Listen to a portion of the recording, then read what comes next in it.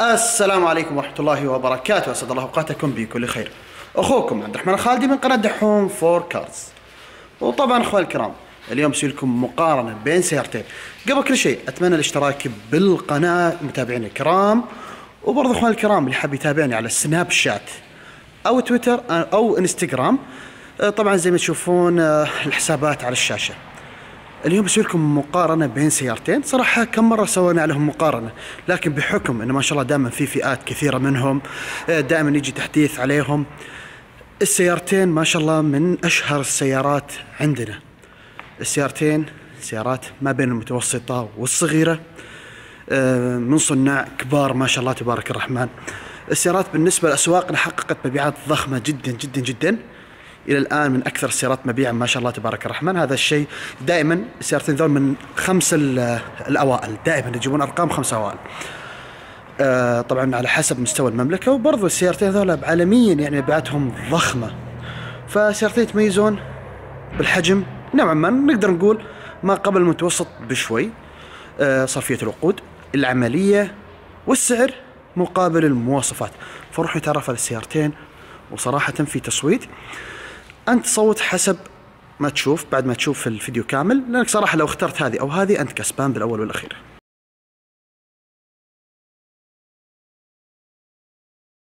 وزي ما تشوفون أخوان الكرام المقارنة بين هيونداي الانترا موديل 2020 وتويوتا كورولا 2020 الفئة والطراز اللي بتكلم عنهم هم فئات النص full في كثير إخوان يقولون يا أخي جيب ال full، ال full صراحة لا هنا موجود ولا هنا موجود بأسواقنا، لأنه صراحة بيوصل حدود ال 95 97 ألف ريال، حتى الانترا كذلك توصل السعر هذا، فأنا أقول لا نجيب الشيء المرغوب الشعبي المواصفات ال option اللي عليها طلب أكثر، مثلا نص full standard، standard سويناها لكم، اليوم بسوي لكم عن النص full. وبالأول والأخير أنت تختار السيارة المناسبة والسيارتين زي ما ذكرت، وأنت مغمض عيونك اخترت هذه. كسبان اخترت هذه كسبان. هذا مو بكلامي هذا كلام الشارع زي ما تشوفون. السيارتين منتشرات بكل مكان. طبعا خلينا نطلع ورقتي صرت أسوي تقارير. بسم الله. طيب. هيونداي إلانترا موديل 2020 بمحرك 2000 سي سي. آه وتويوتا كورولا موديل 2020 بمحرك 2000 سي سي. هذه وارد الوكيل المحلي هذه وارد الخليج صراحة الوكيل المحلي. ما وفر المواصفات هذه. لكن عموما الانترا سعرها حدود ال 61500 طبعا السعر لا يشمل الضريبة. مع الضريبة 64575 وبالنسبة للاخوه العراقيين اللي يحبون يسألون بالسعر بالدولار آه الحمد لله اليوم سويت لكم 17220 دولار تقريبا. آه طبعا هذا السعر شامل الضريبة اللي بالسعودية. والتويوتا كرولا سعرها ال 66500 السعر لا يشمل الضريبة. طبعا كلهم لا يشمل الضريبه ويشمل التسجيل لكن مع الضريبة الكورولا تصير سعر 69825 اخواننا العراقيين السعر لكم 18620 تقريبا عشان يعني تعرفون أنا صراحة ما أبيع مع يعني ما ما عندنا تصدير هنا لكن إذا تعرف أحد يشتريها لك ويصدرها هذا شيء راجع لك أنت. طيب خلينا نتكلم عن الأشياء الأساسية. تويوتا كورولا حصلت على تغيير جذري في موديل 2020 انت قاعد تتكلم عن شكل جديد هيونداي الانترا عن facelift جديد ظهر في 2019 أعتقد السياره تحصل على شكل جديد ب 2021 فنتكلم تقريبا آخر جيل في الهيونداي الانترا والله أعلم. ممكن ليش لا؟ فيعني صراحة إذا نبغى نقول عليها معادله عادلة لا لأن الانترا جيل قديم تعتبر ظهرت في 2016 حصلت على facelift في 2019 ما كان facelift كبير كمواصفات كان فقط تغييرات على الشكل الخارجي. وصراحة كثير من الناس لا زالوا يرغبون الشكل ال facelift القديم اللي قبل هذا. طيب. آه الاوزان حسب طبعا صراحة أنا قاعد أدور بالنت يعني احتمال اخطاء فيها خطأ نسبة خطأ لأن بيتكلمون عن اوزانهم آه ما أدري شو المواصفات اللي حاطينها لكن عموما هيونداي الانترا 1360 كيلو. تويوتا كورولا 1343 كيلو. ما في فرق بسيط يعني لو ركبت يعني صراحة ممكن قايسين الانترا ال full وقايسين الكورولا standard فتختلف وزن الجنوط وزن إلى آخره. فنقول حول بعض. الانترا محركها 2000 CC أربع سلندر. أه تقريبا تعطيك حدود ال 150 حصان تقريبا. التويوتا كرولا 2000 CC نفس الشيء أربع سلندر لكن ما شاء الله تعطيك حدود ال 168 حصان. فالكورولا هي صراحة اللي تكسب النقاط. الجير أوتوماتيك طبعا في الأنترا tiptronic ست سرعات التويوتا كرولا جير CVT وإذا قلبت على وضعيه ال manual يعطيك 10 سرعات. صراحة أنا أشوف لصالح برضو الجير لصالح الكرولا آه، يفوز. لكن بالنسبة لك أنت الشيء راجع لك بالأول والأخير؟ نظام الدفع بالسيارتين آه، فهو أمامي. طيب خزان الوقود بالسيارتين. طبعا حسب الكلام في موقع يلا موتر أن كل السيارتين 50 لتر.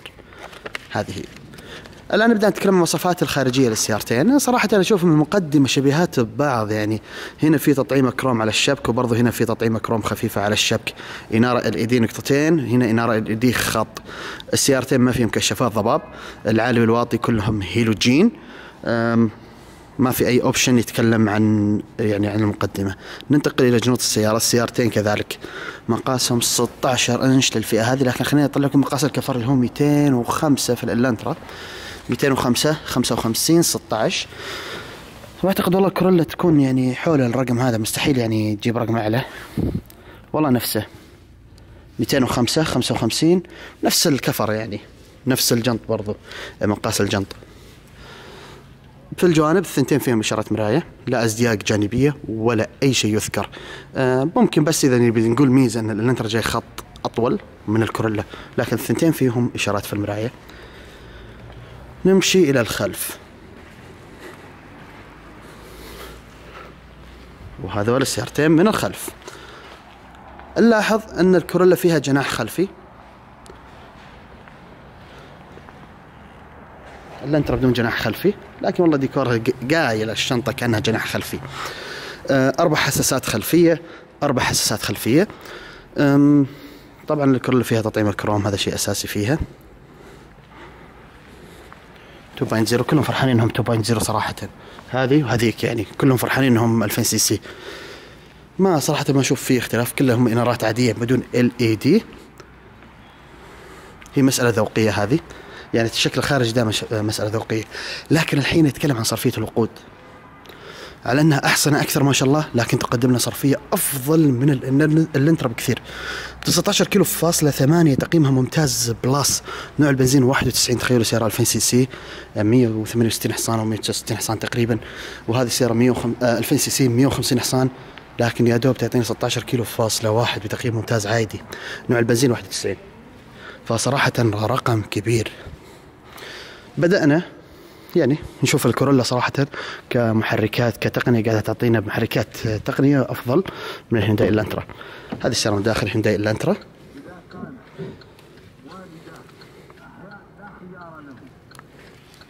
صراحة كل سيارة زي ما ذكرت بنلاقي فيها ميزات تخليك تفكر فيها ألف مرة قبل الثاني فأنت وش ما شريت وأنت مغمض عيونك أحسن لك. الأنترا فيها فتحة تكييف خلفية مع وجود تكاية بالخلف. هذه. هي خلينا نجرب. صراحة بعطيكم انطباع أولي عن الركبة. أنا صراحة ما راح أكون متحيز لهذه ولا هذه لكن أنا الآن جلست آه، في الإلانترا. ما راح أنتقل إلى المواصفات بروح أجرب الكورولا جلستي فيها. أنا بالخلف. هذه المساحة فصراحة كويسة. لا وسيارة واسعة.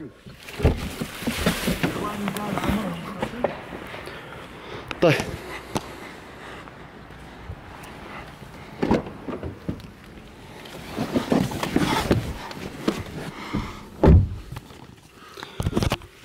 طيب كيف الكورولا؟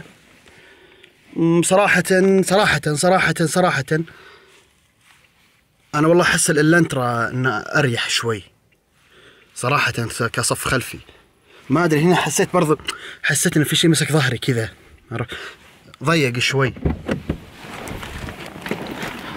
لا صراحة صالح الإلانترا عشان كذا دائما الإلانترا تاكسي أوبر ما شاء الله. ما يضرها شيء طيب ما علينا. لكن عموما يعني يركب فيها. إنه والله ما تقدر تركب لا والله تركب فيها بالكورولا بسم الله. هذا مفتاح السيارة الداخلي. طبعا نفس المفاتيح ترى يعني نفس الشكلية نفس المواصفات لكن كورولا فيها زيادة زر انذار هنا لا. إغلاق فتحة في الشنطة. هذا هو طبلان السيارة.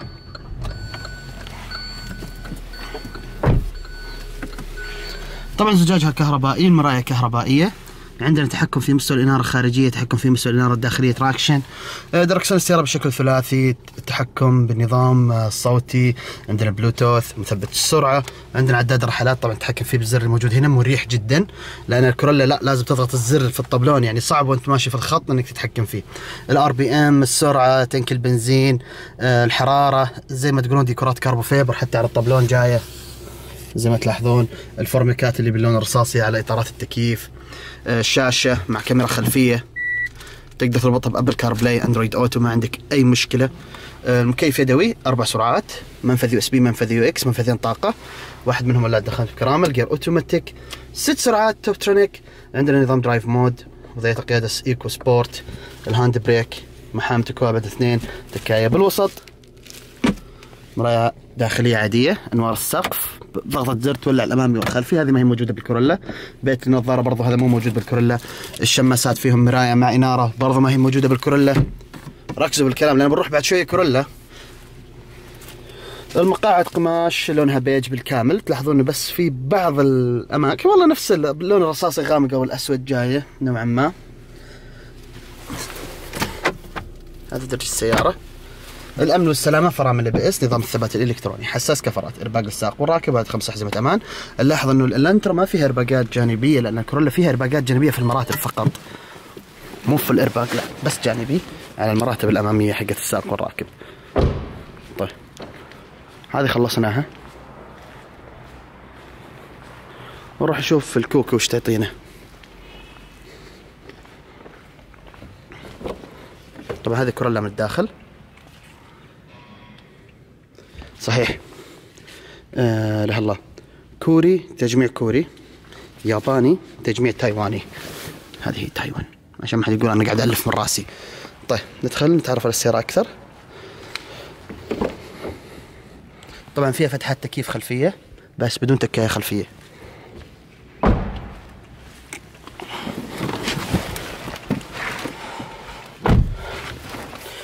الزجاج كهربائي auto لمسة واحدة. وهذه الميزة ما هي موجودة باللنترا انه auto آه، لمسة واحدة.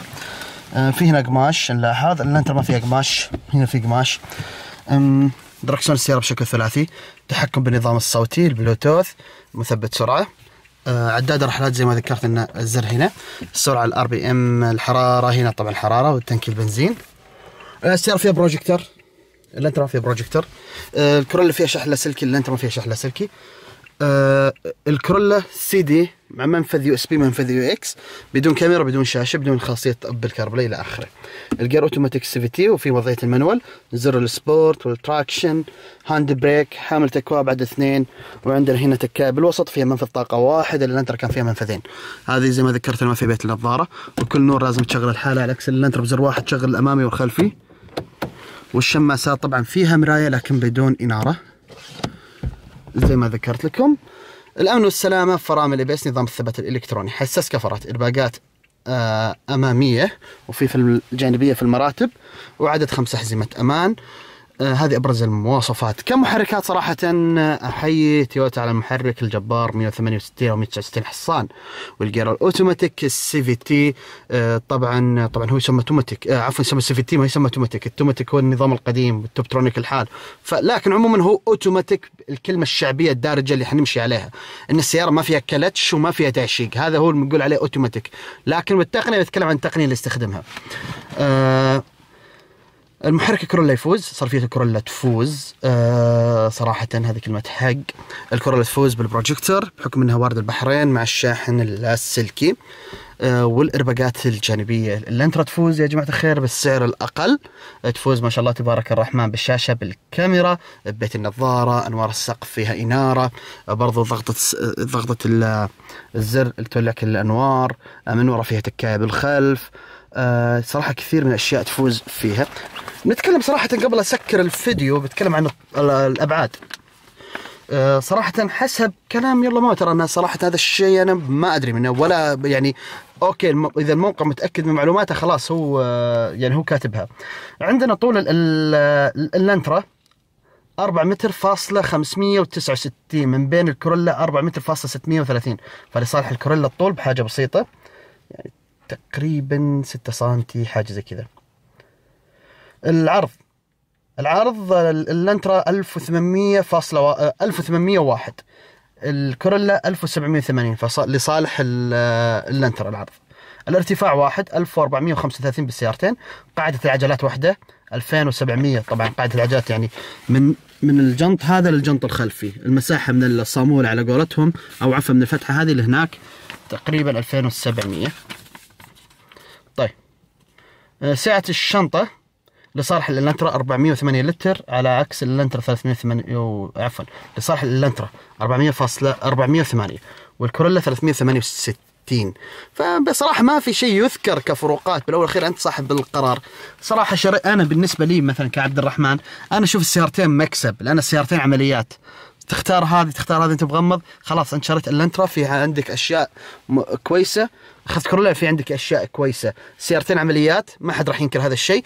لكن ممكن يجيك متعصب من تويوتا يقول لك أنا الأقدم أنا الأقوى أنا الأثبت أنا الأجدر أنا الأبيع أنا اللي كذا كذا كذا. ما مثلا خلاص هو مثلا ما سوى update ما سوى تحديث. أو لا والله الانترا صارت بالشارع بكل مكان مع التكاسي. أوه السيارة أثبتت وجودها. خلاص هو تحديثه قديم. على عام 2002 2003 2004 بس ما ما سوى تحديث جديد على أيام نوكيا. يعني لسه ما حدث ما راح مع الآيفونات والجلاكسيات والدنيا هذه. فمخه لسه قديم. مع احترامي الشديد لك يا طويل العمر اللي أنت بهذه العقلية. صارتين كويسات سواء أخذ هذه ولا هذه. كلهم ممتازات. أو حتى أخذت سيارة منافسة لهم مثلا سيفيك ولا أخذت مازدا 3 كلهم سيارات كويسات. أهم شيء تحافظ عليها وتعيش معك أفضل فترة. طولت عليكم بالتغطية أتمنى تكون عجبتكم والسلام عليكم ورحمة الله وبركاته. لا تنسون التصويت.